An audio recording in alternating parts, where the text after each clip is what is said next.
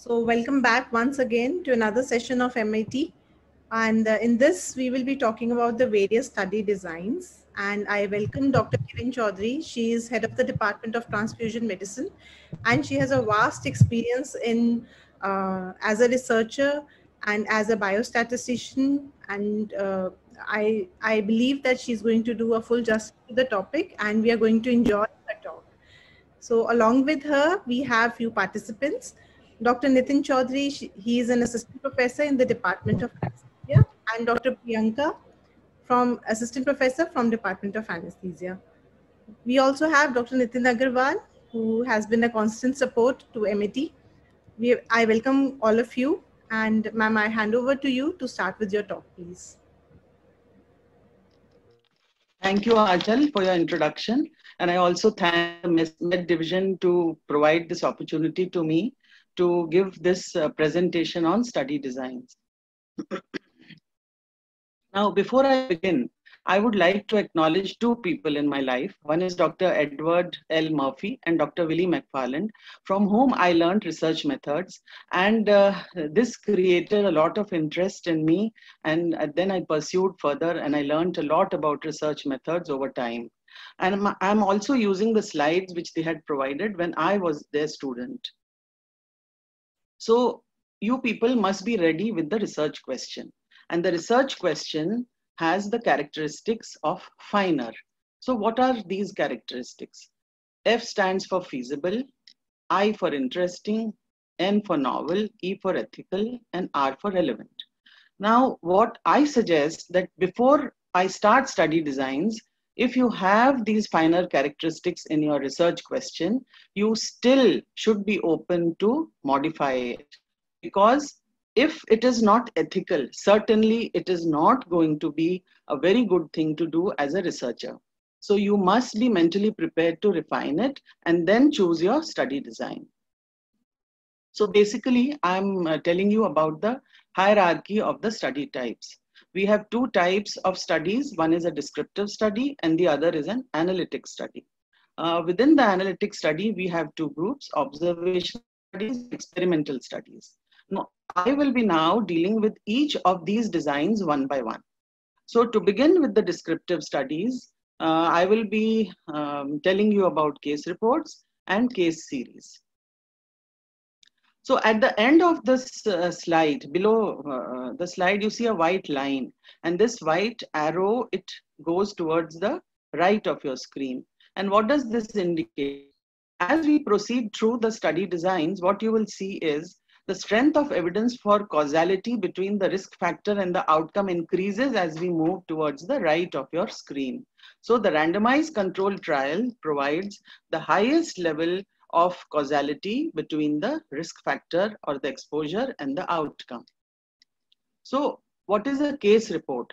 In your clinic or practice, you see an unusual case and you feel that uh, you have never seen such a case before. So this one new case also can be published and reported and this becomes a case report. Next is case series. So several such new cases you are seeing in your practice, in your clinics, and they could be linked to each other. Now, reporting case series helps us to generate a new hypothesis. But the disadvantage is that there is no comparison or control group in this. So here, if I diagrammatically show you how uh, a case series looks like, uh, the perpendicular white line shows where the researcher is standing the researcher is placed in uh, time and he sees a few cases in his clinic over a short period of time uh, in the previous uh, weeks or months. And then he decides that he should collect data on it and document it. So this is a very good example where uh, in Los Angeles, 26 homosexual men who were in their 30s uh, came to uh, the clinic with Kaposi sarcoma. This was the year 1981. And you will be surprised to know that this was the discovery, this led to the discovery of AIDS. Now, what are the advantages and disadvantages of case series? Uh, you are the first one to describe rare and new disease, and it helps to generate a hypothesis on the causes. And of course, it is low cost study. The disadvantage is that there is weak evidence of causation and there is a no control group as I had told you previously. Now I move on to the observational studies. Now, why are they called observational studies? Because the researcher is only observing and not intervening actively. So the researcher has no control over the exposure of the subjects, like as you have in randomized controlled trials. So when a randomized controlled trial is planned and you see that it would not be an ethical or a feasible study, then you always would want to do something um, of an observational type of a study. So what we do is that we record the exposure and outcome only by observation, not by actively intervening. And there are two terms which people should be familiar with. One is retrospective and the other is prospective. So when you look backwards in time, then it is a retrospective study. When you look forwards in time, it is a prospective study. But it provides a weaker proof of for causality uh, when compared to a randomized trial. But usually it is less expensive. And you know, this is the most common design. The observational studies are the most commonly uh, designs, published studies. And yes, as I told you earlier, it is publishable also.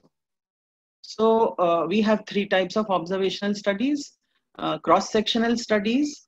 The exposure and disease are examined at one point of time. In cohort studies, one or more groups, which are defined by exposure. exposure. I have highlighted this. They are defined by exposure. They are followed over time for the disease to develop or the outcome to happen. In case control studies, we have two or more groups I have highlighted defined by disease. And you go back in time retrospectively and you find out about the exposure. So we will start with cross-sectional studies. This helps to measure the prevalence of disease or the risk factors in a population at one point in time. So you go to the population, you enroll subjects, you can conduct screening tests, you can have interviews with them for a short period of time. Now, this is very important that it does not become prospective if it takes a bit long for you to enroll all the subjects and collect the data. It still remains a cross-sectional study. And what does a cross-sectional do, study do? It measures the association between having the risk factor and having the disease. Now, this is a diagrammatic representation where you see the population in a circle. In the population, there are diseased people, there are non-diseased people. You want to measure the risk factor or exposure. So you as a researcher go and you take a snapshot. So cross-sectional studies are called snapshot studies or prevalence studies. Now, this explains it very well. The researcher is standing at the white perpendicular line and he goes and he collects data and what does he find? He finds this combination. X is disease, so he has participants with disease, with the risk factor, with disease, without the risk factor, and sometimes there is no disease and no risk factor. So you come back with this data and this is an ideal cross-sectional study. So what are the advantages? Uh, it is a representative study for the risk factors or for the uh, diseases in a population and it provides you with prevalence data.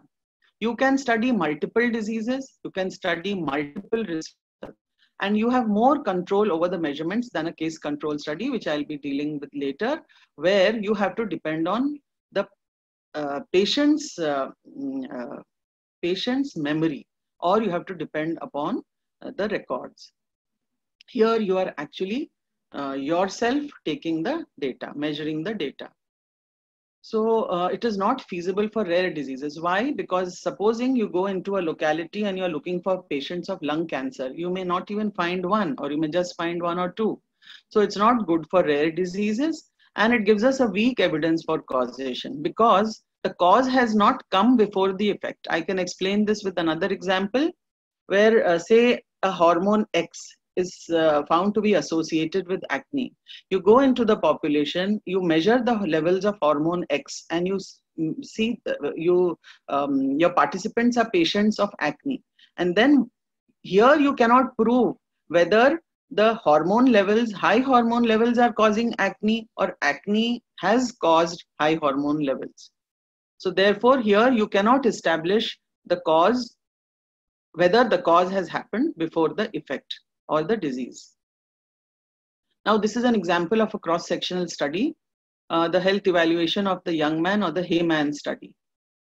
Uh, a survey of men in randomly sampled blocks in poor neighborhoods of California was conducted and blood was tested for see so many diseases, HIV, HBV, HCV, syphilis. Along with it, urine was tested for gonorrhea, chlamydia, and they had also applied this questionnaire on risk behavior. So we have done so many things in one cross-sectional study. Now, you can also do serial cross-sectional studies. This is for studying the trends. Uh, so when you do repeated cross-sectional studies in the same population, um, and it can be done annually, it can be done uh, monthly, depending upon the objective of your study. Uh, but they may not be the same individuals. You know, you can do it serious, serially in the same population. Measure the trends in disease or risk factors over time. So what does this do? This shows us the trend of disease. Is it increasing? Is it decreasing over a period of time? And you also know the sequence of events by doing serial cross-sectional studies. This is very common in surveillance and blood banking reports. So this example shows us that we have studied this population. There are there is two groups. One is of anonymous testers and the other is of the STI clinic attenders. 96, 97, 98 and 99. And what do we see? That the incidence rates of HIV among these two is rising over this period, showing us the trends. Now, what are case control studies? Case control studies are studies where you start with the disease. So the diseases, diseased participants are your cases and you as a researcher choose your controls and the controls are those who are without the disease. And then you go back in time and you compare the prevalence of risk factor in the cases whereas versus the controls. Now the hallmark is you know the disease outcome status at the time you select your study subjects and before you know the exposure status. So you have to always remember that you have to start with the disease or the outcome and go back and see the exposure. So this is a case control study represented diagrammatically. You have one group of cases, you have the other group of controls. You are going backwards in time retrospectively to measure the risk factor or exposure in both the groups. The researcher is standing at the white longitudinal line and he has two groups.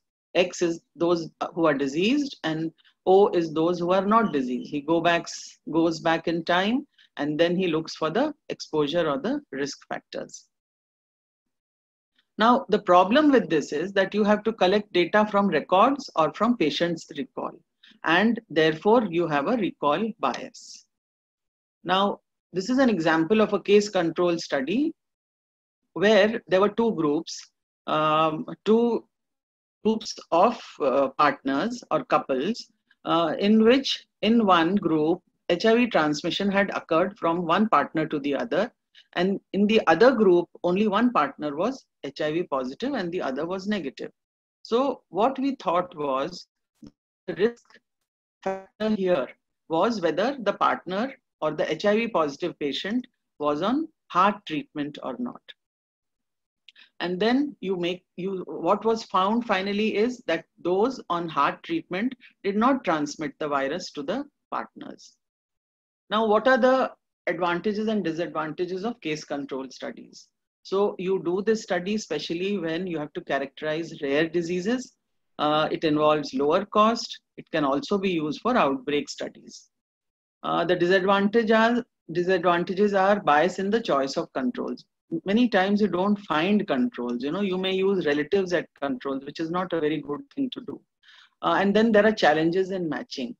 So since the researcher has to select the controls, now he has to match with a lot of caution. Generally, you match for age and sex, but the researcher should sit down and actually note down all other uh, um, factors or variables that could confound the study and try to match them here. There is bias in accuracy of data, recall bias. As I told you earlier, we all know that even if we are asked to um, uh, document our um, history of taking uh, coffee or tea in the past one week per day, we will not be able to do it with accuracy. And therefore, uh, there is weak evidence of causation. Then we move on to the cohort studies. So co prospective cohort studies uh, are which are do, uh, longitudinal studies followed prospectively over time. Uh, you recruit subjects without disease at the baseline. So this is a very, very important thing which we all have to understand. And then you measure the risk factors or exposures at the baseline. You do not control for exposures, but you know them and you deliberately choose your subjects by exposure. And why this is so? Because this is an observational study. The researcher is only observing, you know. So he knows about that and he makes his two cohorts or groups depending upon whether the risk factor was present or not. But he does nothing and he just observes. And he follows up the subjects over time, retests for the disease, and then he associates the risk factors at the baseline with the later acquisition of disease. This is a diagrammatic representation prospective and retrospective cohorts work on the same principle. So you start from the risk factors and you move on to the outcomes.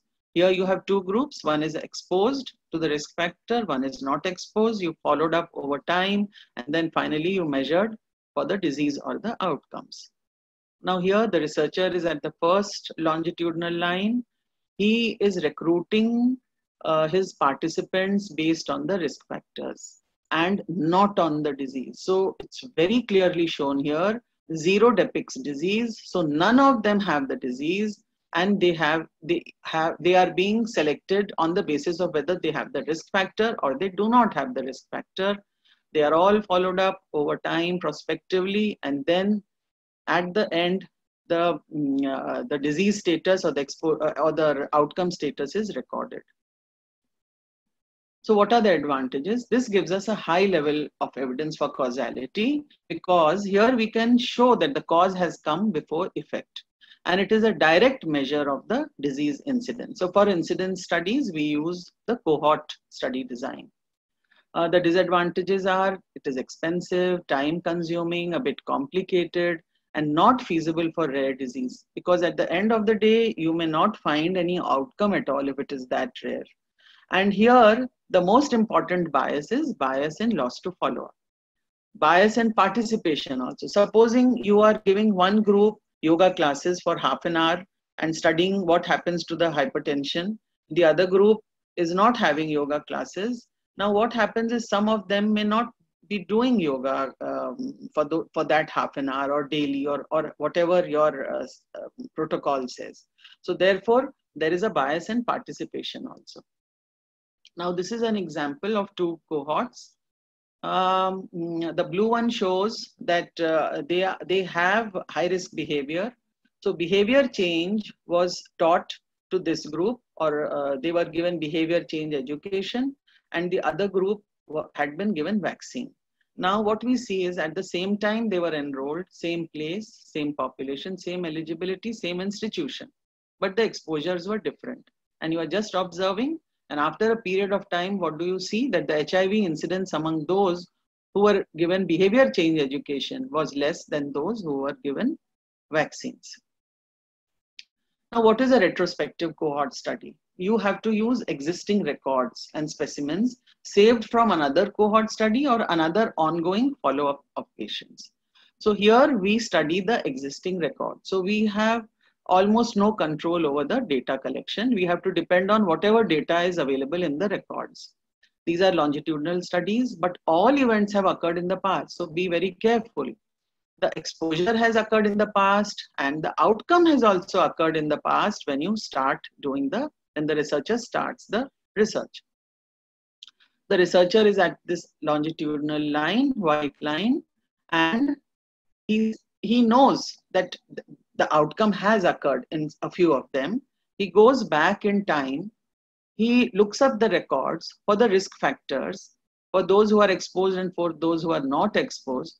And he comes back again to check whether those with risk factors have the disease or not those without risk factors have the disease or not so you can see that this arrow is pointed both ways so you go retrospectively into the past you check the historical records but you are actually starting the study from the exposure to the outcome only and hence it is a cohort study which is done retrospectively with historical records so advantages are it is low, low cost, it can be done very fast. Uh, it is suitable for repeat blood donor panels.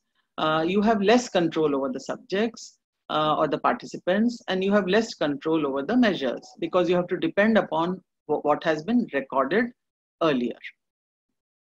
And the analysis is also slightly complex. Now, if you are lucky, you will be able to do a very good retrospective cohort studies if you have all the documents with you or all the blood samples preserved in the way you wanted it to be. So this is an example where you are studying two groups of gay, gay men who inject drugs and the other is heterosexual men who inject drugs and you think that there is going to be a difference in this. So you go back in time, you um, see the records or you have the blood samples preserved and you look for incidents among these two groups and then what do you find? That gay men who inject drugs, the incidence is higher than heterosexual men who inject drugs. So now choice of observational study design. So we, I start from the uh, lowest to the highest. So I start with case series. When you have discovered something new and you want to publish it first and fast, then you choose case series. Uh, when the disease is rare, your most um, easy choice would be case control studies. When you want the prevalence of many diseases and many risk factors in one population, you do a cross-sectional study or survey. When you are lucky, you have the right population and you have access to good records, you do a retrospective cohort. When you are rich and you have the highest level of scientific evidence, you want the highest level of evidence except RCT, then you choose a prospective cohort study. After this, I move on to the analytic study. So analytic studies attempt to establish a causal link between predictor or the risk factor and an outcome of the disease. Before this, what were we doing for all the three types of studies? We were just looking at associations. Here we want to establish a causal link. Now you are doing an analytic study. If in your research question, you have these words, greater than, less than, causes, leads to, compared with, more likely than, associated with, related to, similar to, or correlated, which clearly tells you that there are at least two groups and you are trying to see which group is better than the other. So now what distinguishes the observational study from the analytical or experimental study? Your ability to control for confounding. It is very, very important. And what is a confounder? So now this is a confounder, it is a variable, and you have a predictor or a risk factor and an outcome or a disease. So this confounder is associated with both the predictor and the outcome. In, here we can take the example of smoking as a confounder, coffee drinking and pancreatic cancer as the outcome and the predictor. Predictor is coffee drinking, pancreatic cancer is the outcome. So what we, what the hypothesis is or what some studies showed that coffee drinking is associated with pancreatic cancer, whereas this was not true. It was actually the confounder smoking due to which this result was coming and it was a spurious result. So since those who smoke also drink more coffee, it was thought that coffee drinking caused pancreatic cancer. So hence smoking here is a confounder. So in randomized control trials or analytical or experimental studies, the investigator controls the predictor variable or the exposure or the intervention. And this is the main focus of the whole study, that the researcher is being able to control the exposure. Now, the major advantage over observational study is to the ability to demonstrate causality. As I told you earlier, we were just looking for at associations and not a causal relationship.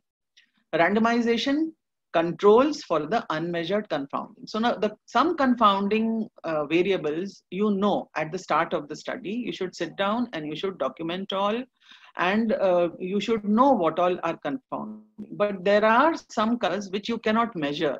So by randomization, as in the name suggests, randomized control trial, you are actually controlling for this confounding.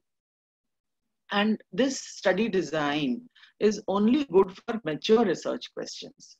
So what do you do? You have a study population at the baseline and then you randomize them into two groups. In one group, you give the placebo. In the other group, you give the intervention. You follow them over a period of time and then you measure for the disease or outcome. So there are two guiding principles. You have to ask an important question. So if you can ask an important question, uh, then I think you should go and you get a reliable answer. Then you should go in for uh, randomized controlled trial design. So is there really uncertainty about the best treatment or procedure? Will the trial results change the clinical practice? If you are not able to answer these two, then there will be a lot of ethical issues. And this design will not be the best design. And similarly, you will have to have to give a reliable answer an adequate sample size. So is it feasible to have that much uh, of population, that much sample size? Or uh, can you see to it that the protocol is adhered to strictly? So you have to maximize the follow-up and adherence to protocol. If you cannot do that also, then this is not the best design for you. Now I will quickly go through the steps in a randomized controlled trial. So first you select the participants uh, and it should be for a high risk disease, say for uh, HIV mm, patients. So you should have uh, um, that in the HIV patients or that risk factor in your population. Um, and your participants are likely to benefit and not be harmed and they're likely to adhere to the protocol.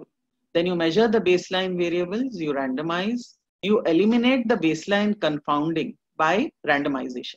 So you use a random number table and um, you uh, there are different types, simple stratified block randomization, etc. And you randomize the patients. So how do you, um, how does uh, it help to eliminate the confounding? Now, the unknown confounders by randomization are equally distributed in both the arms, in your uh, study arm and in the control arm. Then blinding is also very important. It is as important as randomization because it eliminates co-intervention. Now, if the patient does not know that he's in the mm, uh, intervention arm, uh, and if the researcher does not know that he's in the intervention arm, so it is less likely that they will um, do things, you know, intervene in other ways so that the results go in their favor. So sometimes uh, generally driven by commercial interests. Some people, mm, they try to intervene in such ways and the results are biased. So biased outcome ascertainments and biased measurement of outcome. So the person who is measuring the outcome also should be blinded and person who is uh, uh, the, the mm, participant is blinded, the researcher is blinded, and the person who does the data analysis also can be blinded. So you can blind at different levels depending upon the objectives of your study. Then you follow the subjects for adherence to protocol and for loss to follow up.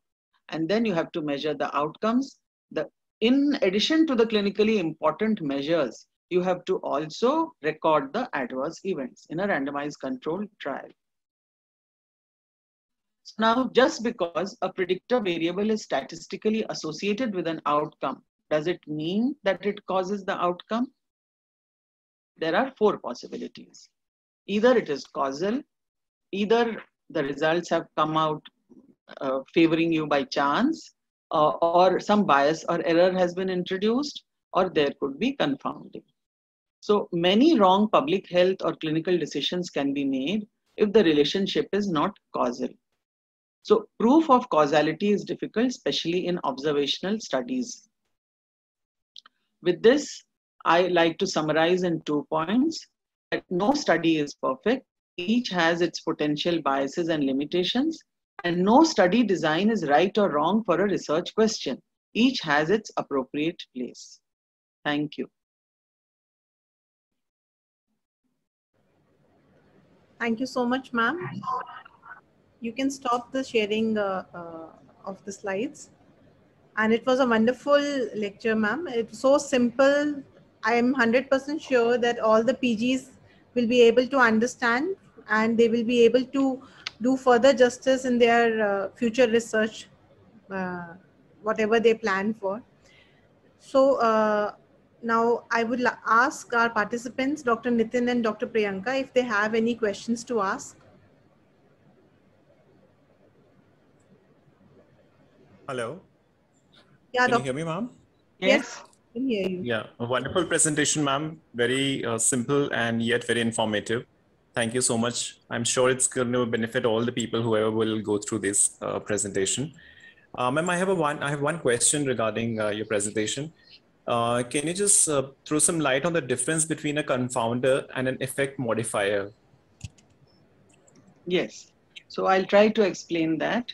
You see, as I told you, the confounder sometimes can be accounted for, sometimes you do not know what it is. And it, it is actually associated with both the exposure and outcome. Okay. And then they are uh, bound to give us spurious results. So before we start a research, we should know what a confounder is and we should document it and we should have a list ready so that at the time of analysis, we have the data for the con confounders and it can be treated differently. Now, actually, if I uh, use a layman's language, uh, it's an it's of nuisance value, and it we we don't want it as researchers. You know, it's going to affect your um, uh, affect your study. Uh, it may affect it in a positive way. It may affect it in a negative way. But the researcher does not want a confounder there. You know, so it is actually creating a lot of noise, and we do not want it there. And there are several methods um, especially you know mm-hmm. when you're designing the study and if you think smoking is a confounder you may uh, not have people who smoke. But then finally the generalizability of the result becomes very limited. So your results will be valid only for those who smoke or who do not smoke if you have not taken one of them into your study. So uh, actually the best thing is to document them uh, to collect data on them and at the level of analysis either stratify or uh, you can uh, do a regression analysis and you can find out uh, whether that confounder is actually harming your study or not. Now, as far as effect modifier goes, effect modifier is associated with the outcome. Uh, and effect modifier actually acts as a catalyst and it enhances your study in a way. So what happens is supposing if I take an example of uh, use of OCD, OC, oral contraceptive drugs. Uh, um, and, and I say OCD causes breast cancer. But if the female or if, if that participant is genetically prone to develop breast cancer, the use of OCD actually acts as a catalyst and it increases the risk of breast cancer. So these are the differences between effect modification and confounding. I Thank hope you, that clears. Yeah, thank you so much, ma'am. Okay. Any other questions? Dr. Priyanka, you want to ask something? Please unmute yourself, Dr. Priyanka.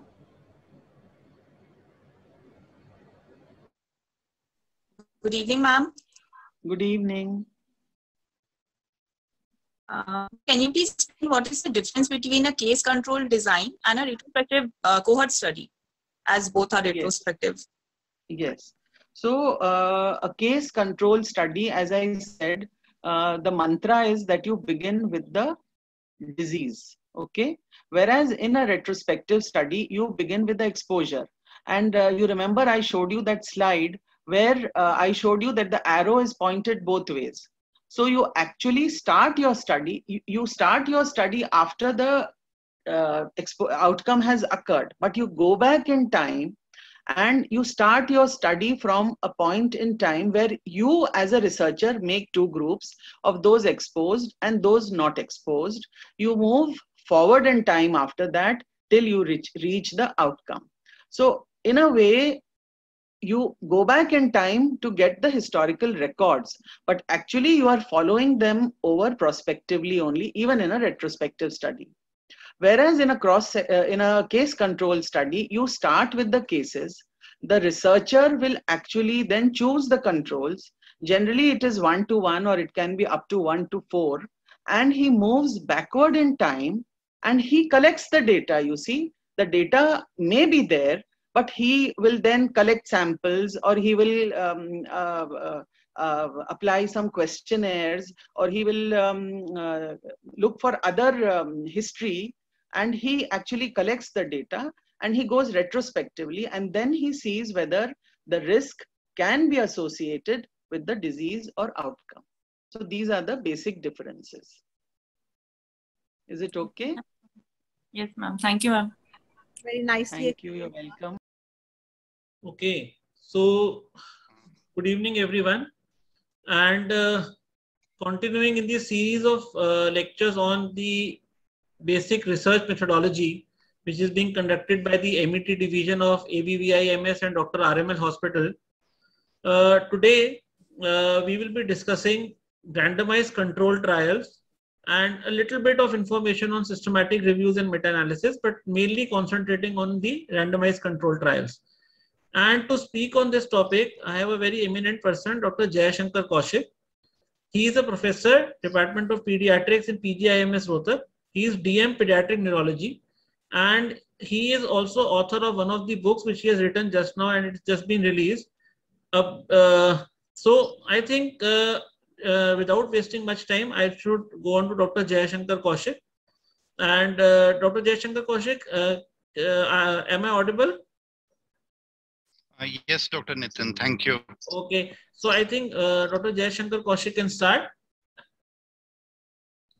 Uh, can you enable share screening? Yeah.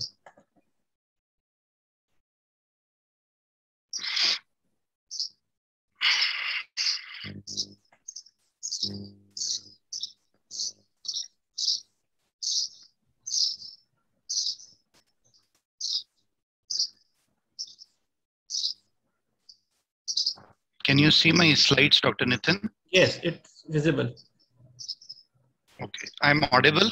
Well? Yes, you are very well audible. Okay.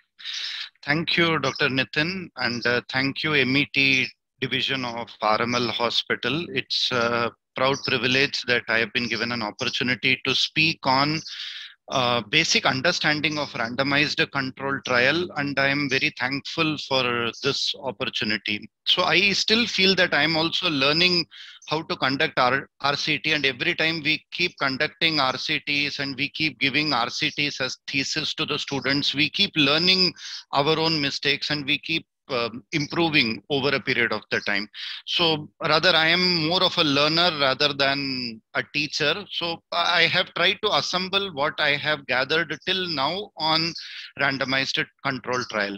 So the main objective of this session will be to provide an overview on the principles basic principles of rct and to understand the methodology of randomized control trial and to briefly understand the terms called meta-analysis and systematic review. Frankly speaking, I don't want to cover too much or go into depth into meta-analysis and systematic review. The basic purpose will be to understand the basic principles of RCT the main thing that we need to understand when we are talking about any randomized control trial is, or for that matter, interventional studies, interventional studies or experimental study designs are those study designs where the researcher is going to intervene at some point of the time throughout the entire study. So the first and foremost concept we need to understand is that if the researcher is going to intervene at the study design, then this is an interventional study and not an observation observational study.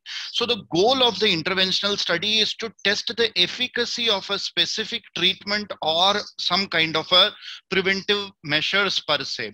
So the main thing that uh, differentiates an interventional study from an observational study is that the researcher is going to intervene or is going to uh, perform some kind of an intervention so that the outcome or the end point of the study is going to change. So the first question that comes to our mind mind whenever we encounter any kind of a study design is that are you going to change the outcome of the study?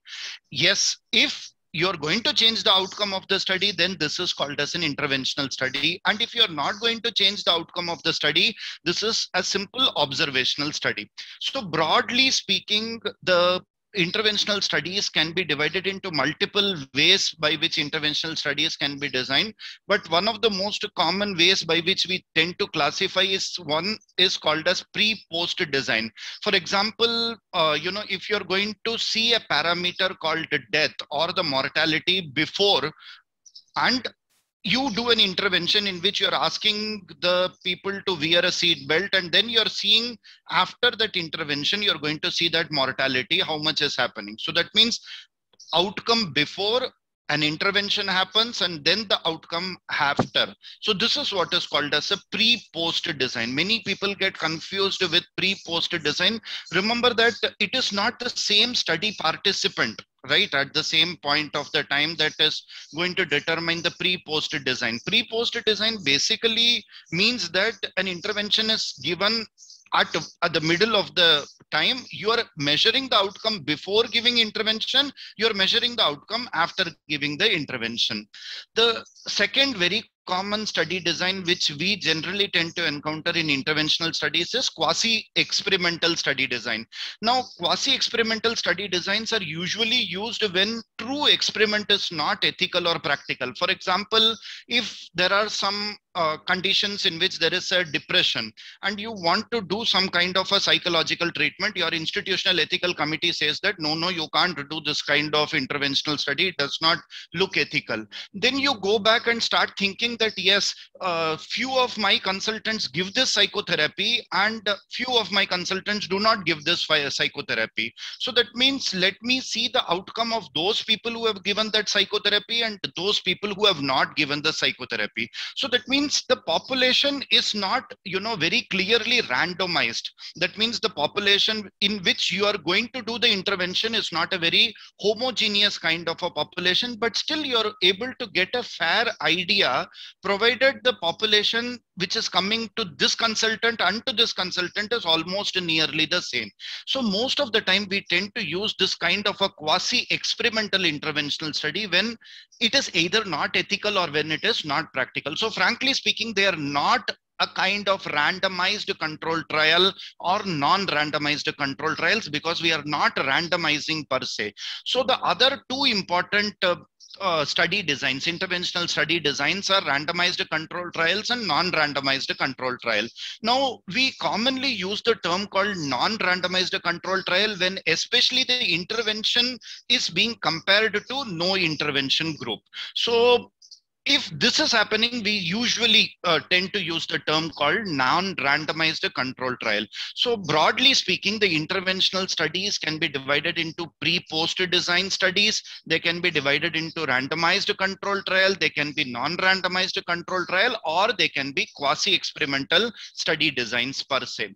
So let us try to understand with a few examples. Now, for example, if you want to compare ultrasonography and urine pregnancy test to diagnose diagnose pregnancy among women with a delay in periods for more than 10 days. So that means women are coming to you with a delayed period for more than 10 days. And now you're wondering which is better. You know, is it ultrasound or is it urine pregnancy test, which is better to diagnose pregnancy? But here you can see that ultrasonography or urine pregnancy is not going to in, is not going to affect the outcome. That means pregnancy, whether it is present or absent, is not going to be determined whether you're going to do ultrasonography or urine pregnancy test. So this is not an interventional study, right?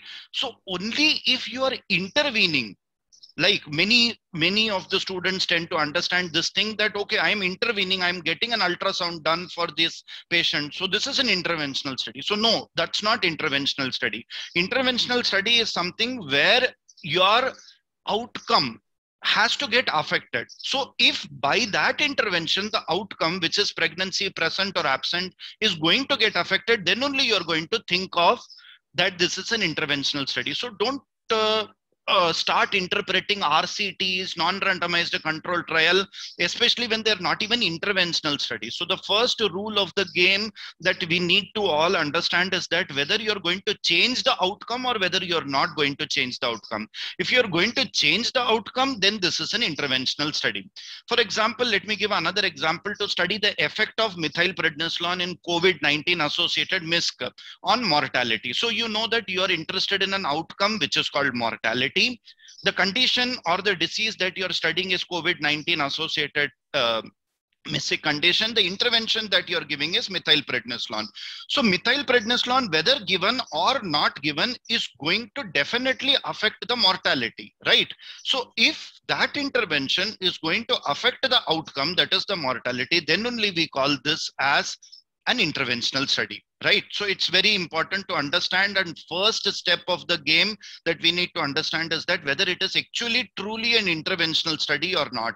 Many of the time we start going up uh, aboard and we start saying that okay uh, you know i'm going to randomize one to give ultrasound another to do urine pregnancy. They start calling it as randomized control trial. So please no right? It has to be first an interventional study. You should be changing the outcome of the study. Then only this is an interventional study. So the next step called randomized or whether non-randomized everything will come only when you're doing an interventional study right? So for example if i'm comparing methylprednisolone and ivig in MISC on mortality. So again this is also also interventional study, but I'm comparing two groups.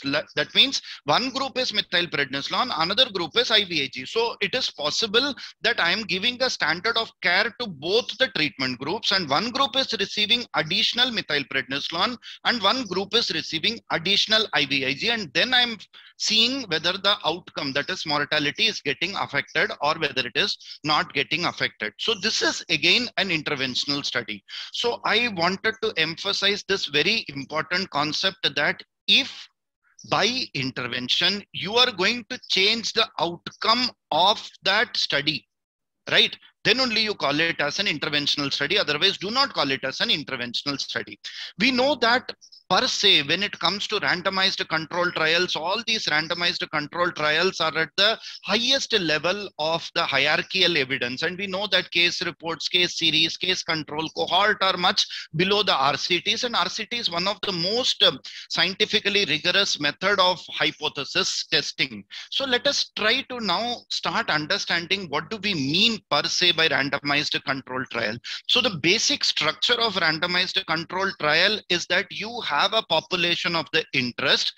From that population of the interest you are going to choose a sample population. So that means you are taking some kind of inclusion criteria exclusion criteria and you're choosing some kind of a sample population. And that sample population is a homogeneous population and you're randomizing them to receive either of treatment a or treatment b. So that means it's an homogeneous population. One group receives treatment A, another group receives treatment B.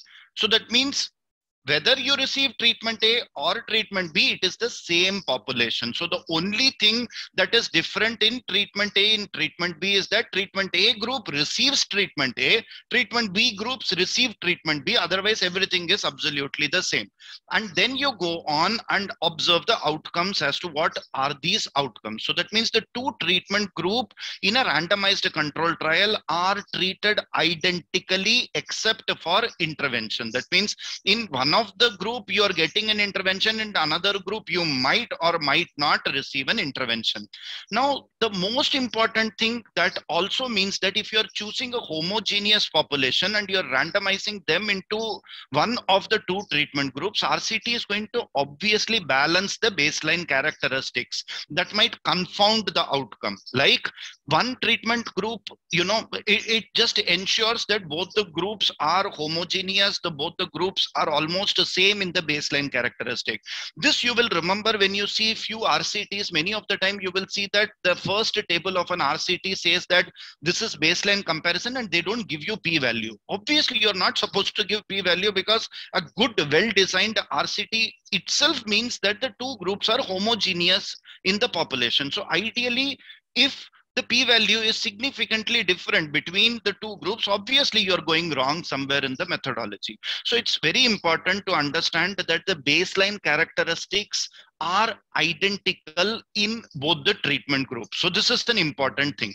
So what are the steps while we conduct a randomized control trial? So the first step will be that you identify a good research question arrive at an hypothesis, identify what are the outcome variables. Once a good research question, a hypothesis, and an outcome variable is decided, then you define that what is the target population and how am I going to do the sampling? That means how am I going to choose the population from that target population? How much will I choose? That means how much will be the sample size?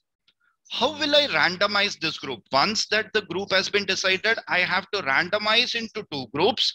And then how do we do allocation concealment? How do we do blinding per se? And then once the outcome is analyzed, how do we do the data analysis per se? Do we use an intention to treat protocol? Analysis or do you use a per protocol analysis? That will depend upon what kind of data analysis you are doing. So the basic step the first step will be to identify a good research question define the target population decide how much will be the sample size, then talk about randomization, and then the final analysis. So let us start analyzing each and every step one by one.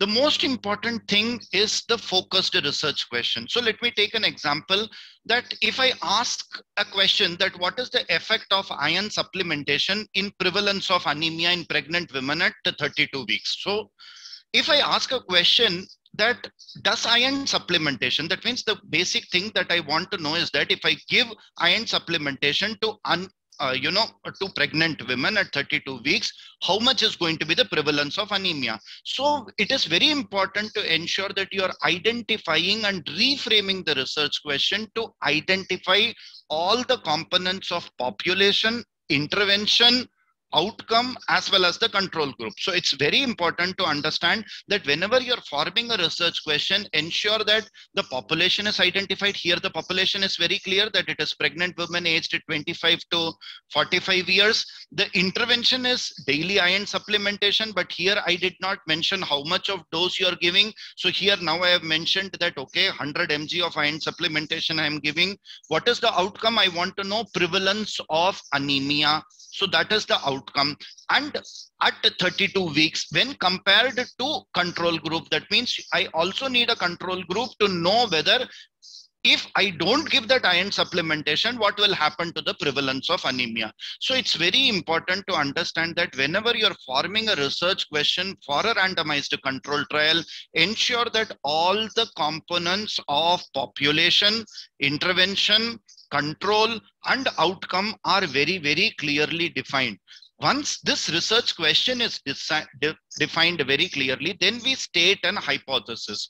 So let me reaffirm that research question is a question. So that means I end it with a question mark. So that means I start with a question called what is the effect of daily iron supplementation, right?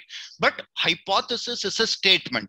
I say that a daily iron supplementation of 100 milligram between 8 to 28 weeks of gestation to a pregnant woman aged 25 to 45 year will result in reduction of prevalence of anemia at 32 weeks by at least 10% when compared to the control group. So that means I am already making a decision that if there is a group which does not receive iron supplementation, if my interventional group is re receiving iron supplementation, the difference in the prevalence of anemia should be at least 10% to state that iron supplementation between 8 to 28 weeks of gestation will be useful right? So it's very very important to understand that hypothesis is a statement. Hypothesis is a statement and it also needs an effect size effect size means that I am trying to determine that when will I call intervention to be superior to a control group? Or for that matter when will i say treatment a will be superior or treatment a will be not inferior to treatment b right? So it's very important to understand that the effect size needs to be stated in an hypothesis. Now the third thing that we need to very clearly define is the outcome variable one of the very important thing is that primary outcome variable should be very very clearly defined especially in your rcts what is for example in this in this study i will say prevalence or frequency of anemia at 32 weeks of gestation that will be your primary outcome variable. The secondary outcome variables can be you know multiple like for example, frequency of clinically significant adverse effect. I can say fetal outcome in terms of birth weight. I follow up these patients. I see how these babies are born. So I can, you know, determine the fetal outcome in terms of birth weight. So I can have more number of secondary outcome variables, but primary outcome variable needs to be very, very clearly defined. It should be a very, very objective. It should be a measurable outcome variable. So it's very important to understand that an outcome variable that you are framing should have a quantification. That means it should be it should have some kind of a measurability. Like frequency of anemia i can measure. So something which is measurable is a outcome variable. So once our research question hypothesis and outcome variables are decided then we start thinking that okay which population do i start studying? Choosing the right target population is extremely very important because this is going to primarily determine the generalizability of the study. What we what do we mean by target population target population is nothing but a population to which it is intended to apply the results so it's important to frame the inclusion criteria and exclusion criteria and it is also important to understand broader is the inclusion criteria better is the homogeneity, right? But take care of the homogeneity, but it is very important that broader is the inclusion criteria, better is the external validity of that particular study. So it's very important to understand that, for example, in this study, if I say that if I want to test for anemia and I choose only those pregnant women who are, you know, eating very well, who are having only vegetarian diet, I am not including non-vegetarian diet.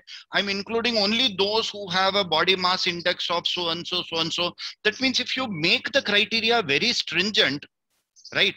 So once your results are going to come, I can apply that result only to that narrow population. So it's important to keep the population broad, but don't keep it so broad that anybody who is pregnant, I'm going to enroll, right? So that will also make the things uh, a little heterogeneous, right? So you will have to define very clearly that, okay, I'm going to take somebody who is pregnant between 25 to 45 years, who has been diagnosed with pregnancy test and has been has at least undergone you know an ultrasonography. So you keep some basic criteria so that you're able to apply apply those results that you're going to come. So remember this that at the stage of the protocol itself a lot of mind needs to be applied on how you need to frame the inclusion criteria. So keep it a little broad don't keep your inclusion criteria very very narrow because once you keep the inclusion criteria very very narrow it's quite possible that you will not be able to generalize the results per se. Similarly ensure that exclusion criteria are also framed in such a manner that you don't miss a major chunk but yes important confounding variables you are going to take care to exclude right? So how you are going to choose from that target population right? Among everybody who is coming is what is called as the sampling technique. So the sampling technique that means you have a full population that is pregnant women and from that pregnant women how are you going to choose those pregnant women is what is called as a sampling technique. And one of the most common sampling technique which usually the clinician uses is a consecutive recruitment. It is better to avoid convenience or judgmental sampling. Convenient sampling means that okay my opd days are on monday and Wednesday, I am going to take only on my OPD days. I am not going to take on the other OPD days. It is quite possible that, you know, all high risk pregnancies are coming on the other days and nobody is coming to you. So it's very, very important that don't choose a convenience sampling that anybody who comes to me in my OPD days, I will recruit. That's not the way to recruit it. You define an inclusion criteria, talk to other consultants of the unit, ensure that, you know, you're putting the inclusion criteria to every consultant that yes, if the person is fill, fulfilling these inclusion and exclusion criteria, please give me a call. I will come and recruit these patients. So do not choose convenient sampling. And this is one of the biggest errors that usually happen. And this is one of the reason why many of the you know journals tend to reject your RCTs per se. So these are some of the points that you need to take care at the planning stage itself. Now, the next thing that comes is the sample size. And remember, a very, very important thing is that the sample size calculations are always based on the primary outcome variable, which could be a dichotomous variable or it could be a continuous variable. For instance, prevalence of anemia is, you know, prevalence of anemia is a kind of uh, a variable which is, you know, dichotomous. Continuous variable is like, you know, weight of the baby that has been born is a continuous variable. So remember that you can have any kind of a primary outcome. You can have continuous variables. You can have a dichotomous variable, but it is important to understand that sample size calculations are usually mind it usually based on the primary outcome variable so even if you're having multiple secondary outcome variable it is the primary outcome variable that uh, determines what is the sample size. The next question that comes to everybody's mind is that who decides which is the primary outcome and which is the secondary outcome? It is you who decides what is the prime. So according to you, if as a researcher, I feel that the main purpose is to prevent mortality, right? So my primary outcome will be mortality. But if I am being a pediatrician, if I am involved in this study, I might not be interested in maternal mortality. I might be interested in what is the birth weight of the baby, right? So primary outcome will be determined by the person or the by the researcher who is involved in the study. So nobody usually determines who is the who is going to prime who is going to decide which will be the primary outcome variable but yes primary outcome variables should be something which is something which is you know very clinically very important, clinically very relevant. Choose your primary outcome variable very carefully because your sample size calculations are usually based on that.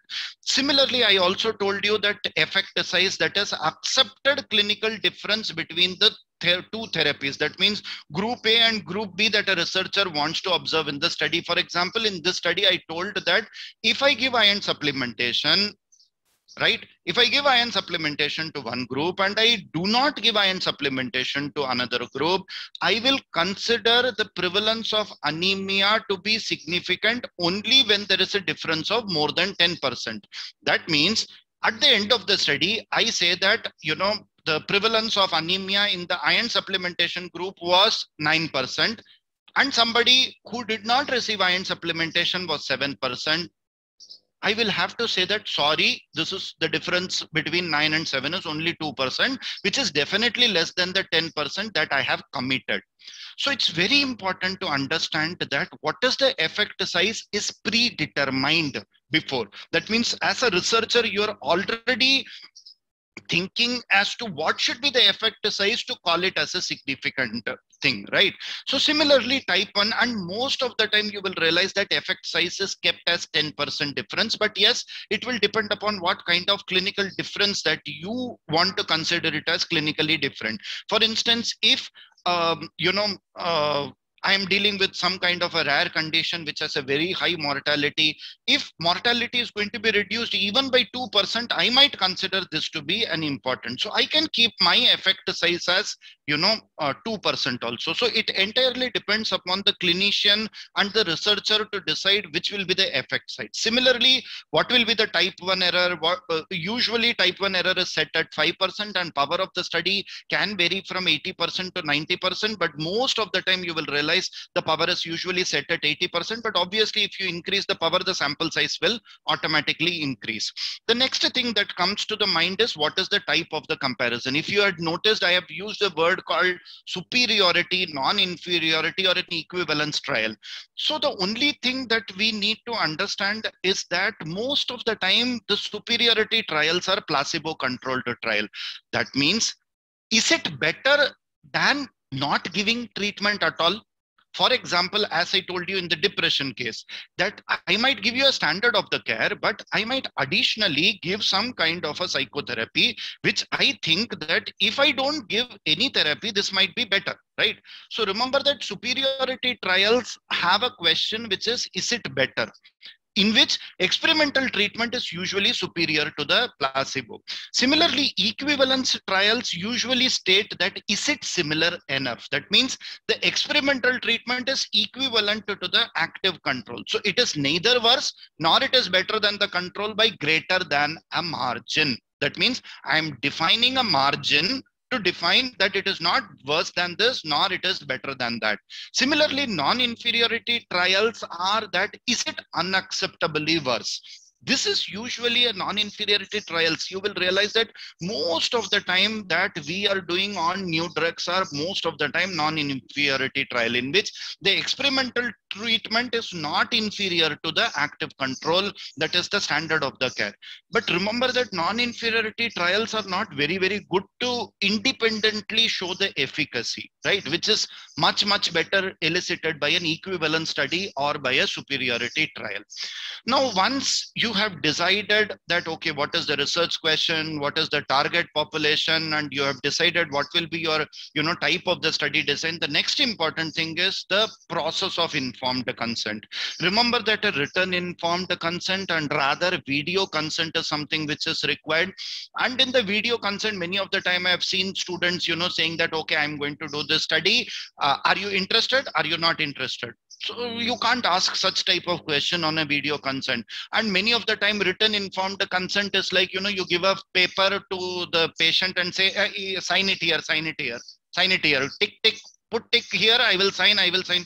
Come, you also sign here. So please ensure that don't do this kind of uh, written informed consent. You should ideally provide a consent, tell that it is in research. We are not very sure. What is the purpose of that research? there are certain potential benefits. There might be some risk that can be associated. What will happen if somebody develops some kind of an adverse effect? And it is a voluntary participation. If you say that, no, I don't want to participate, I am not going to stop your treatment, you're most welcome to say bye bye and go at any point of time. You can withdraw at any particular stage. Even after giving treatment, you feel that, oh, this is not my cup of tea. You can walk out. I won't trouble you. I will continue my treatment. I won't harm you. This is very important to ensure that during your video consent, you're covering all these components. Routine care will not be affected by refusal to consent. This is a very, very important thing that, oh, now you're not refusing me to consent. Let me see, show to some other better doctor. So no, don't uh, avoid this kind of keeping grudges with you. It is a kind of a research. Ensure that some amount of sanctity is maintained. Ensure that you're taking a video uh, of the consent process that is there. It should be archived. You should always keep a record of it. Now, once you have decided target population is done, the next step that comes is randomization. Now, many of the students get confused that what is randomization, what is allocation. So just to remember that randomization basically refers to a process of assigning the study participant to experimental group or the control group at a random such that each participant has an equal probability of being assigned to any group right? Hmm. So that means randomization per se is going to ensure that it is going to eliminate the selection bias. It is going to balance all the known and unknown confounders. And at the same time if you can also do a non-random kind of thing in which odd registrations, even registration, alternate people can be given one treatment A, another treatment B, another treatment A, another treatment B. So all these things are non-randomized method. So randomization per se, please understand, is a method or the process by which you're assigning the study participant that if a first participant is going to come, which treatment I'm going to give if the third participant is going to come, which treatment will I give? So that means randomization is done even before the patient, first patient is recruited, right? So that means I am creating a list of entities in which which person is going to receive which treatment is already decided from first to 60. Suppose my sample size is 60. So from the first patient to, to the 60th patient, I already decide that who is going to receive treatment A, who is going to receive the treatment B. Now, how do we do randomization? There are multiple methods of doing randomization. One of the simple ways using random number table but we generally at this point of era we usually use a website like randomization.com there are multiple websites which can help you but one of the very user friendly uh, website which i have seen is randomization.com but yes simple randomizations are very very useful but very small clinical trials if you're going to do a very large clinical trial then simple randomization is good. But if you're doing very small trial as a part of your thesis of your student or for that matter if you're doing a very small rct on a small group of patients it's better to use something like block randomization and stratified randomization. Now what do we per se mean by block randomization? Now block randomization is that suppose you see this example that means either treatment a or treatment b. So if i already decide that i have a block of four that means in my mind, I already know that once an A patient has come, the second patient is also A, the third patient is B. So I, even before the fourth patient comes, I already know that the fourth patient is a treatment B, right? If I'm biased towards treatment A, I might say to that treatment B fourth patient that, oh, please go home. Um, you go, you are not the right person to come. So another, you know, another very, very thin patient comes, then you think that ah, this can be given B. So come, you are the fourth patient. So that means you have introduced your own bias. That means with this kind of fixed kind of block randomization, you already know in your mind that if somebody has received A, A, B, B, that means block randomization means that at the end of four, I know that equal number of A and equal number of B will be received, right? This is good, but this also has some kind of flaw. So what we use is what is called as a variable block randomization. So in variable block randomization, I don't know whether the block is of two or whether the block is of four. So that means once the patient, first patient is A, the second patient is B, the third patient is A, I cannot be very sure that it will be only B because I don't know what will be the block size of the next patient. So it can be, this is what is called variable size block randomization. And we generally, in most of our thesis, we generally tend to use this kind of block randomization. So if you visit randomization.com, it's a very, very simple thing. You can just write a drug A and drug B. You know that number of subjects that are required per block will be two per, and you need 10 blocks. So you can write the number of subjects per block block, number of blocks. So that means you have a you have chosen the variable sized block. So that means one block could be of two, another block could be of four, another block could be of six. You know that the sample size total is 60, right? So that means six into five will be 30, four into five will be 20. So this completes my sample size of, you know, this is the, you know, 30, this is 20 so 50 is done. This is 20 so this is 70 so that means if my sample size is 70 i will automatically assign how much how much how many subjects will be given per block. So this is what is called what is called as variable size block randomization. This can be very easily done using randomization.com and once you generate and click on that button this is the kind of the list that will be provided that from first patient to the 70 patient it is already known that who will receive drug a and drug b right? So if i am the study person I will not uh, I will not do it myself, right? So if I do it myself, what I know is that, okay, I know that the first patient will receive treatment B, second is treatment A. So that means already I am biased that I know that so-and-so plan will come, right? So it is better that this randomization is done by your friend who is not involved in the study per se. The other type of so this is what is basically variable size random um, block randomization, which we very commonly use. The second type of randomization is stratified random sampling, which many people use, especially, you know, one of the way to stratify is gender, like, you know, 70 males, 30 females. Out of 70, ensure that, you know, all males are equally divided. So you, I want, uh, this will be a kind of study design in which stratified sample size i want to be very very sure that you know males and females are equally represented. I don't want at the end of the study to say that okay 70 are male and 35 are male female. So this drug is going to work only in males and not in the female. So if you feel as a part of your study you think that there is some kind of a variable which is going to confound majorly you can use a stratified randomization also. Now how do we randomize? How do we do per se? There are two major type of study designs that we tend to use. One is called as the parallel study design in which the study participants are randomly assigned to either of drug a or drug B. And at the end of intervention, you're studying the outcome in drug A and outcome in the drug B. The other study design which we generally tend to use is crossover study designs in which a person, is, that's a homogeneous study population is divided into drug A and suppose you're doing a placebo uh, kind of a study. So at the end of your intervention, especially if the drug or you know the intervention is of a rapid onset and a short duration, you might have to give a washout period before you cross over. That means you are giving the placebo to that person, you are measuring the outcome at the end of drug A, at the end of this means. So that means outcome in a parallel study design was only once. Whereas in a crossover study design, you're going to study the outcome at two intervals. That means one after the drug A was given, another after placebo. Similarly, one after the placebo was given, another was after the drug A was given. So this was all about randomization. So the students should be really very clear that randomization is done even before you're recruiting the first patient so that means at the protocol stage itself, if the randomization plan is attached, then we know that, okay, this is a very good plan which is there.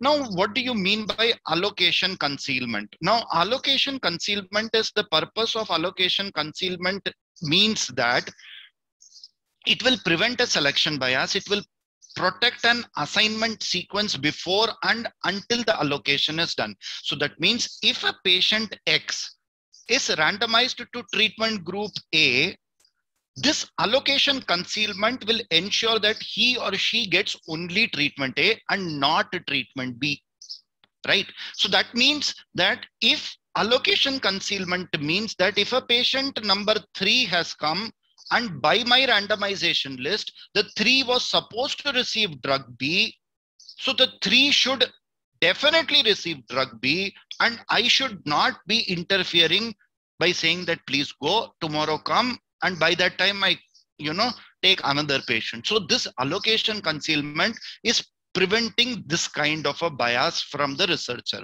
right? So one of the two common methods that we tend to use for allocation concealment is what is called sealed envelope technique. Another is distant randomization. Distance randomization means that somebody who is sitting in the telephone, a researcher who is abroad, abroad or for that matter, somebody away from your institution is telling you that, okay, your third patient has come. Okay, now the third patient should receive drug B. So then accordingly, you give give drug B. So that's distance randomization. But we generally tend to use sealed envelope technique in which sequentially numbered opaque sealed envelopes are usually used. Ensure that you're using opaque envelope so that you're not, you know, looking onto the light and you're able to make out, oh, this is treatment B. Let me keep it.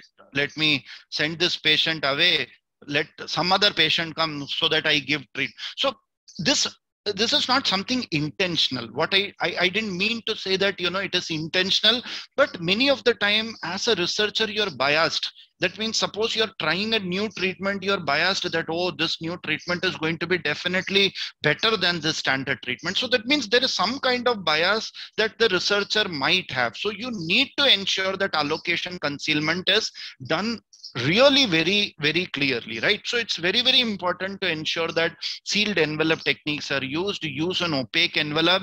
The assignments can be placed in advance in a set of envelope by someone not the researcher. So that means that you're choosing an envelope. That means the randomization list was available. So i give this randomization list which was generated by suppose if i am the researcher I, I ask my friend x to prepare this randomization list and i tell this x friend to make you know 60 envelope label this envelope 1 2 3 4 5 6 70 up to 60 one receives drug b drug two receives drug A, three receives drug B. So that means within that envelope, I put a slip that says drug A or drug B or drug B, and then I seal it, right? So that means once the third patient is going to come, I will open this third envelope and I will see that, okay, this third envelope has treatment B. So this third patient has to receive treatment B. So this is what is meant primarily by allocation concealment. And this is a common method that we tend to use, which is called as the sealed envelope technique. The third method, which third term, which is a little confusing when it comes to RCT is what is called blinding. Blinding basically refers to the practice of, you know, preventing the study participants the investigator and the statistician from knowing who is in the experimental group, who is in the control group, in order to avoid them being influenced by such a kind of a knowledge, right? Single blinded means that the study participant who is getting enrolled into the study does not know whether he is going to receive treatment A or treatment B. If the study participant as well as the researcher does not know whether he is receiving treatment A or treatment B, these are called as double blinded study. But even if the statistician also till the end does not come to know, he just tells that treatment A is superior to treatment B, but he doesn't know which is treatment A, which is treatment B. This is what is called triple blinded study. But yes, Many of the time, all the three are aware. This is what is called open labeled study. Many of the times you tend to use what is called as open labeled study. Suppose you're comparing, you know, a medical treatment from a surgical treatment how is it possible that even the study participant doesn't know whether i'm eating the medicine or whether i'm going to go to surgery right? So such kind of comparative studies are usually open labeled. For instance you're comparing a tablet and a syrup formulation. You can't do a you know blinded kind of a study right? So it's very important to understand that there are certain situations in which blinding cannot be done right? So in such a cases you tend to use open labeled kind of a study design. Now it's very very important. Another very important thing that i wanted to highlight is that the procedure must be spelled out very very clearly. So that means standard operating procedures should be very clearly framed. You will have to very clearly define how will the treatment uh, drug a and drug b will be administered to study participant. How are you going to train the party how are you going to train the researcher how are you going to ensure that certification is given? A proper checklist is being made. How do you ensure that the person who is you know as researcher or for that matter you know uh, a person who is doing the study is very qualified to perform this kind of study? Has they been trained how to do randomization how to do? So everything has to be very very clearly told in your protocol stage itself that as to how you are going to do it. So standard operating procedure that means once a patient comes will the will the patient be first administered to your RCT or what will you do first? right? So that means after reading your protocol, if more questions come, that means your standard operating procedures are not clear. So please ensure that you show your protocol to your friend. And it is always good to show it to your enemy so that he, you know, criticizes that protocol, you know, right and left and say, this is also not done, this is also not done, this is also. So pick up all those things and improve your protocol. Ensure that you know every component of your you know protocol is very very clearly spelled out. This is a very very important point because if the standard operating procedure as to how you're going to handle the patient is not clearly spelled out your rct is going to get rejected right? So it's very important to very clearly spell out how you're going to do because this is going to majorly influence your internal validity of the study as I told you, the inclusion criteria are going to determine your external validity. Your methodology, robust methodology is going to influence your internal validity. So it's very, very important to understand that you follow a very very kind of a strict procedure. Now two or three important things in view of rct that everybody should be aware is that ctri register registry is mandatory for all clinical trials that are conducted in india. In 2004 icmje that is international committee of medical journals have very clearly told that if you have not registered i am not going to publish your study. So if you have not if your trial is not registered then please don't expect that it will be published in any of the ICMJ recognized journal. So it's very important. Ensure that a proper institutional ethical committee clearance is very, very mandatory. CTRI registration does not happen without institutional ethical clearance. So the first step is always institutional ethical clearance. Ensure that if you're doing an interventional study, a data safety monitoring board should be committed. Do not keep yourself into that data safety board monitoring. Keep two or three of your colleagues spell out that so and so person is going to ensure that you know they are that all the patients are safe make create a data safety uh, you know monitoring board especially in all the interventional studies. And i just wanted to highlight that ctri uh, from last one or two years have made it mandatory that you have to prospectively register. So if they say that okay i have conducted the study. Please register my trial. They will say sorry you have to look for somebody else. Ctri now says that at the protocol stage you will have to spell it out very clearly that okay i am doing this study so that whole world knows that yes you are doing this study. You're keeping these as your inclusion criteria these as your exclusion criteria. You're keeping these as your outcome measures. So it's very important to ensure that ctri registration is done. Ctri is a very professional organization and you will realize that uh, that you know the registration is very very fast. And i have had a very good experience with ctri registration in all the rcts that till now i have conducted. So ctri is a very professional organization. So ensure that once your ethical committee is clearance is done ctri should be registered. So it's also important to understand that if you're doing a new drug or if you're doing an old drug for a new indication or an old drug by a new route of administration, you will require a DCGI approval. Rather, this dictum is usually told by your institutional ethical committee itself. The institutional ethical committee says that sorry, I cannot give you the ethical clearance. You will have to go to DCGI, take an approval because it's a new drug. Once DCGI approves, come back to me with that DCGI approval letter, then I will think about it. So ideally, IEC clearance should not be given to a trial which is, you know, involving, you know, new drugs or an old drug for a new indication or an old drug by a new route of administration. So ensure that, you know, uh, DCGI, it, it is ultimately, let me tell you, it is ultimately the research liability. So you hmm. have to be really very careful when you're doing it. Now, when it comes to handling the data, this is one of the loose area for most of us that, uh, you know, once the study is done, once, you know, the thesis is completed or the research is completed, you're throwing out all the data. Oh, this paper is published. Now I don't want to keep any case record. So ensure that case record forms are kept safe. Ideally, people say that it should be kept for at least five years after the you know publication date that has been there. Generally, people also say that more than 20% of follow-up losses are very unacceptable. So don't expect that, you know, once the follow-up loss is up to 30%, somebody is going to say, oh, please welcome, your study is very robust. They might probably just reject the study design. You might have to state this as a limitation.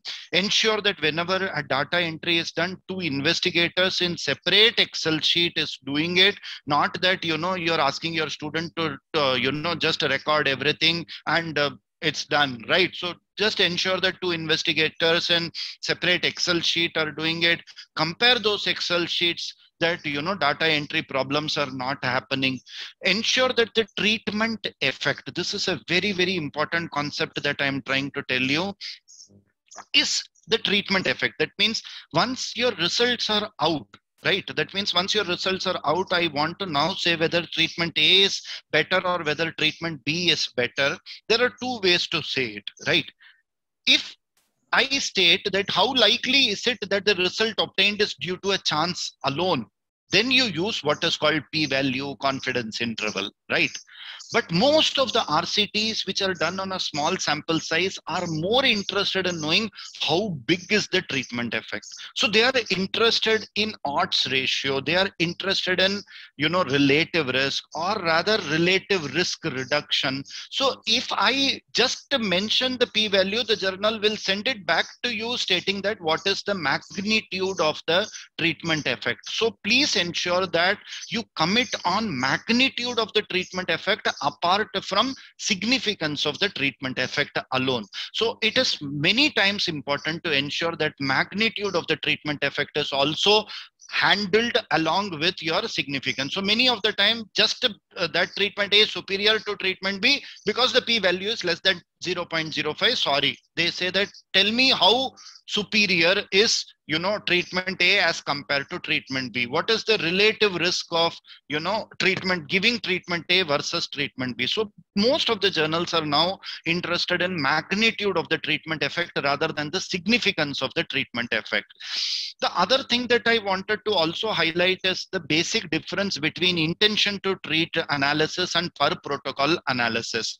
Now when it comes to intention to treat analysis intention to treat per se means that it ensures that all patients allotted to either of the treatment group or the control group are analyzed together as representing that treatment arm, whether they received it or whether they did not receive it, whether they completed the study, whether they did not completed the study. So that means if I recruit 50 patients for iron supplementation, 50 for control group, my denominator suppose i see that the prevalence of anemia is you know uh, anemia i say that okay 12 of them who received iron supplementation were anemic and those who did not receive were 10 if my denominator is 50 that means 24% and 20% this is what is called intention to treat. It is possible that those who received iron supplementation 11 of them ran away right right and in the control group five of them only ran away so when you look at this data, that means 12 to 39, this is 30.7%, which is definitely much, much better than control group. This is what is called as per protocol analysis, in which only those who have completed the study are included in the denominator. Right? Most of the people, most of the journals prefer intention to treat analysis because if 11 people have run away from iron supplementation, right? In this, as in this treatment group, I know that those 11 people who have run away ran away because it did not improve. Rather, they developed some severe side effect, right? So most of the journals do not accept a per protocol analysis and they prefer intention to treat analysis. So intention to treat per se means that I intended to treat that patient whether he continues that treatment or whether he runs away from that treatment. I will consider him to have received that treatment. Right. So this is what is basically meaning of intention to treat analysis. But yes many journals do ask you to you know report both intention to treat as well as per protocol analysis especially when the follow-up losses are very very minimal. But when the follow-up losses are very very large they never will usually accept a per protocol analysis. Now the last part is that once you are completed with your rct you have to appraise your rct so appraising rct is to ensure that the validity of of the trial methodology, ensure that you know the focus, the research question is focused, randomization plan, what randomization you're going to use is very clearly stated, how you're going to do allocation concealment, that's very clearly stated. The protocol clearly tells you the standard operating procedure. You have also clearly stated whether I'm going to do blinding or not. How am I going to handle the analysis? Right? Am I going to do intention to treat analysis or am I going to use per protocol analysis? What is the sample size? So that means still your protocol is valid with all these things. Then we usually do not accept this to be a robust thing. So validity of trial methodology is very, very important. So similarly, magnitude and the precision of the treatment effect. So it's also important to understand, as I just told you, that it is not only the statistical p-value. So don't run behind that p-value of, you know, less than 0.05 as some magic number, right? So rather, if the treatment effect size is much bigger, even if the p-value is not significant, it might meet some kind of clinical significance. So i'm trying to re-emphasize the fact that it is you know magnitude of the treatment effect that is far more important than just the statistical significance. And the last thing that we also look at is applicability of the result to your patient or to the population which will be determined by your external validity. And you can very clearly make out from this presentation that is garbage in garbage out you don't prepare a good protocol, your study is not going to get published in a good study in a good journal. So it's very important to have a very, very robust methodology. You have to ensure that all steps are done at RCT. So 90% of your you know effort has to go at the protocol stage rather than at a later stage. We generally appraise the randomized control trial using a consort study a consort statement. We have a checklist. So once the manuscript is prepared the manuscript is usually checked with whether they have mentioned all these items or not sample size how sequence was generated how was implemented how blinding was done whether they have written a, st study flows design or not how was the numbers that were analyzed what, what what were the adverse effect how did they discuss so all these things are basically a consort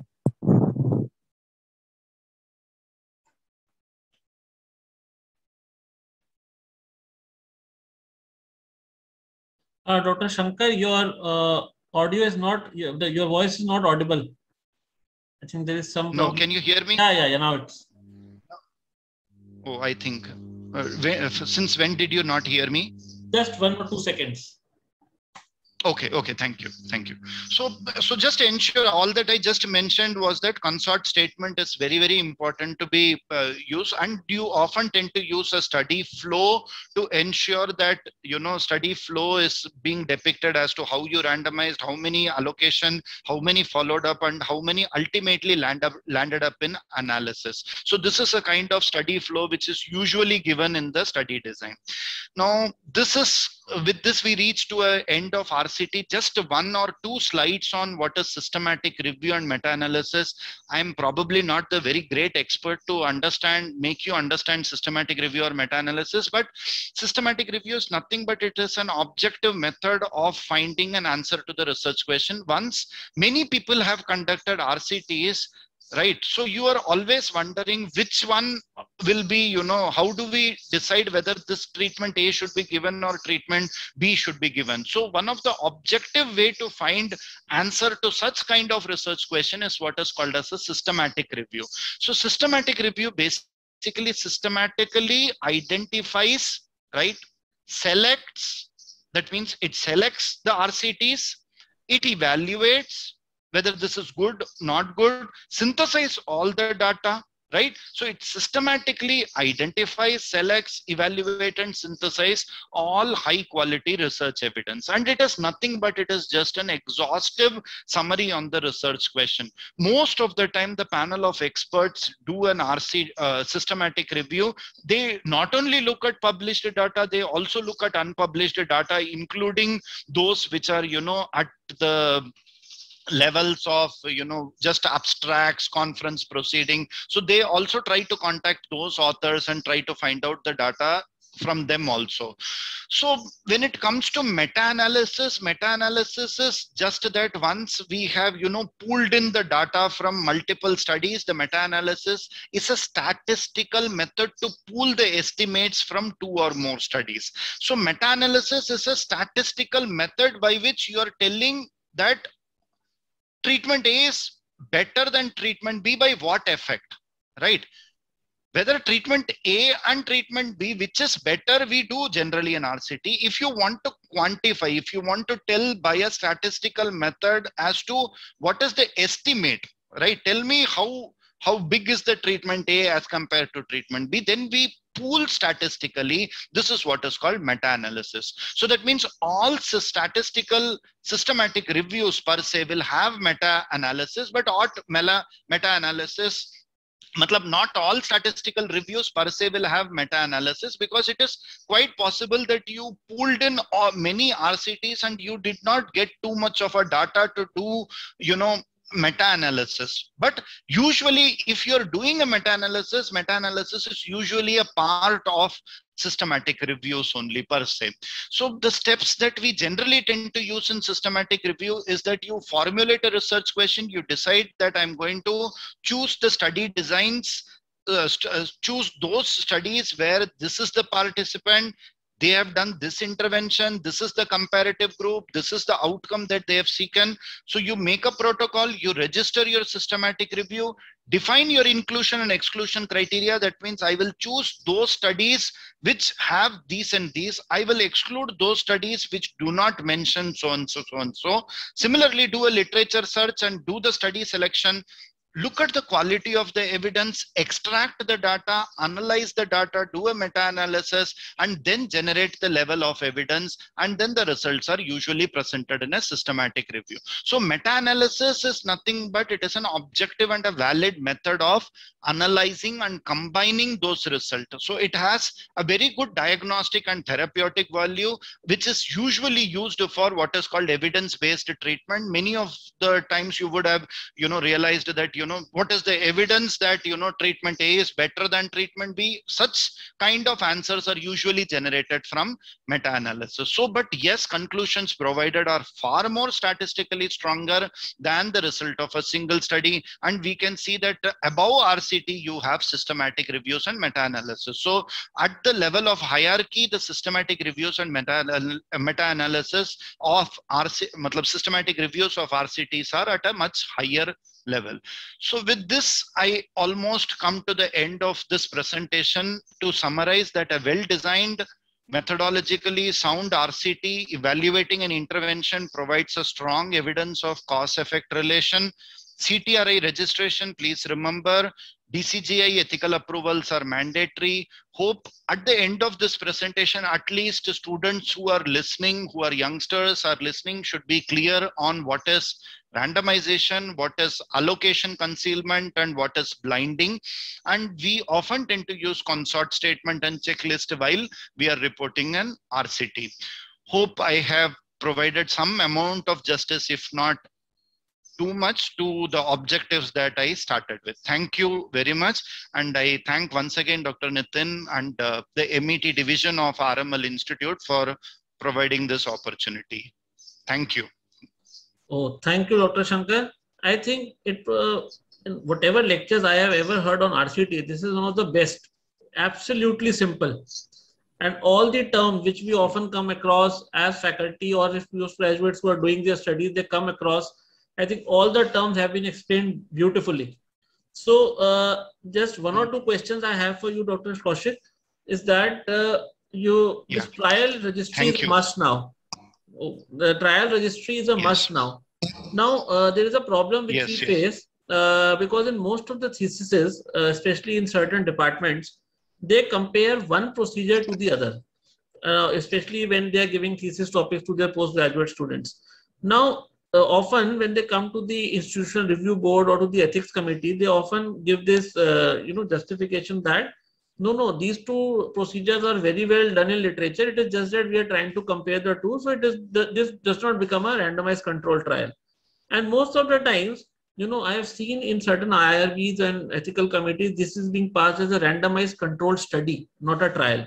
So firstly, uh, firstly, that I think this should be called a trial because though there are two different uh, methods which are being used, though they might be existing in literature, because most of the time researchers say no, this is not new. That is why it is not a trial. It should be called a study. So is this a valid justification which they give or is it not a valid justification? Uh, yes, thank you for this interesting question, Nitin. But uh, what I wanted to, uh, that's why I started my presentation from the first thing by stating that what is an interventional study, right?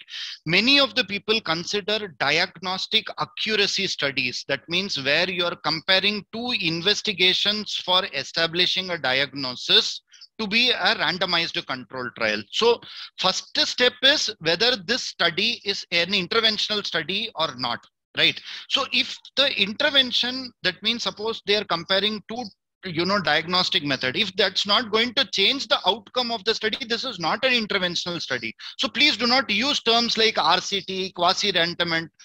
So first step is whether it is interventional study or not. So you need to identify that only because you have one intervention another comparator does not mean that it is an you know rct if you're comparing treatment a you know diagnostic one from diagnostic two does not mean that it is an rct so the only thing that i wanted to emphasize as a simple rule is that if your intervention is going to change the outcome, then only call it as an interventional study. Otherwise, don't even call it as interventional study. And this is the reason why I started my presentation by stating that don't label diagnostic accuracy studies as you know RCTs. If you're not changing the outcome of the patient, do not call them as randomized controlled trials.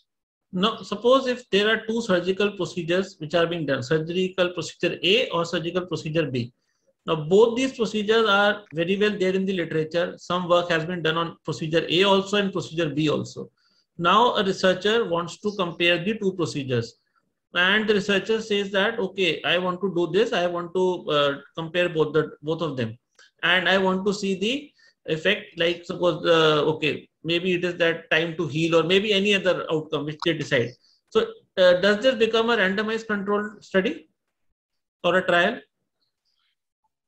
Okay, now let me uh, thank you. I understood your question. So the basic thing is that if the population is homogeneous, that means if they are choosing one homogeneous population suppose they say that i'm going to you know choose some elderly patients who are presenting i'm just giving an example i'm not a surgeon so i might give a very lame example but uh, i'm just trying to say that you are taking an old person and you are you know having a mass in the abdomen and i want to know, uh, or for that matter you say that appendicitis patient has come to me all patients are there. If a homogeneous population is coming and then you are randomly dividing them into one of the true surgical treatment, then this will be definitely an interventional study, right?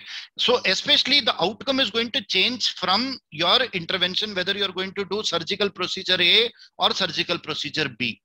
The next question that comes is that should I give ethical clearance or not? It is totally up to the domain of the ethical committee people whether they consider this as a good uh, study or not, right? Suppose if the uh, generally speaking, if you're doing procedure one and procedure two, and procedure two is a standard of care, and it has produced very good results, then why, why, do you need to compare this with a standard of care which is already providing a good study result so many of the ethical committee people say that if you know standard of care is itself working so well why are you doing a study on comparing another surgical procedure so it entirely depends upon um, what is already known known in the literature so it is the author who has to give that justification hmm. or the researcher who has to give that justification.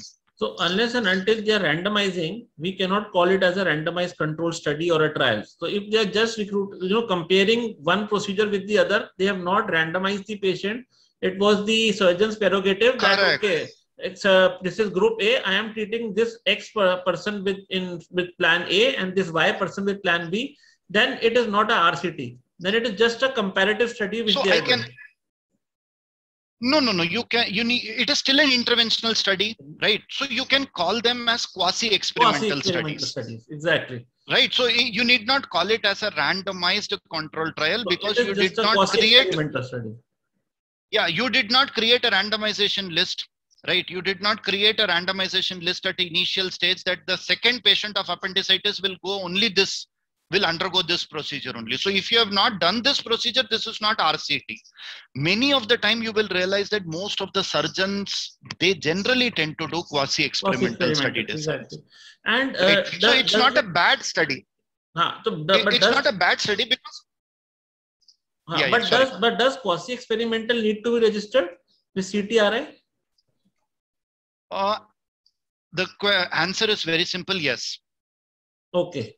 So even that right any any ideally speaking any interventional Has studies to be should registered. be has to be registered to be right. registered. so it is always better to be registered than not registered because if you have not registered you have lost the opportunity Opportunity. tomorrow the journal says that no this is not a uh, you know quasi experimental you have done a very good study i'm interested in publishing please tell me the registration id you Hmm. can't go back to find out registration id ctri will will say that please sorry bye bye you don't uh, you can't do anything about it now so it's always better to register than not to register Okay.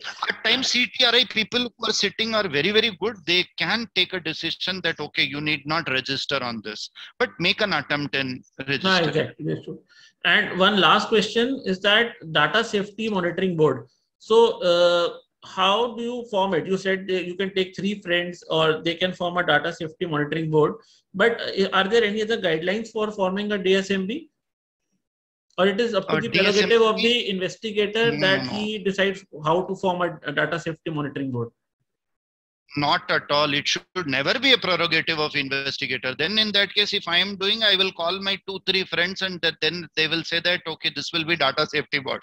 So that's not uh, data safety board. So it is the ethical committee's prerogative to decide who will be the data safety Data board safety. members right? So i most of the time you will realize that data safety board member one of them is from your own specialty. You can't Mm. do an data safety board of an obstetric person. If an obstetric trial is happening as a pediatrician i might not be you know able to Mm. understand anything. So most of the time you will realize that institutional ethical committee appoints somebody from obs gynae. Whether he is a friend or enemy that i don't know. Ah, so but it is not the investigator who does it right? It has to be by the ethical committee. Correct correct correct correct So uh, with this, I thank Dr. Jayashankar Kaushik for a wonderful talk he has given on randomized control trials. And I think he has simplified it just the way he has simplified pediatric neurology in his book, Clinical Approach to Pediatric Neurology for postgraduate students and practicing pediatricians. So uh, thank you, Dr. Jayashankar Kaushik, for a wonderful talk. Thank you so much dr nitin and thank you rml institute. Thank you so much. Thank you. Thank you. thank you. Thank you. Bye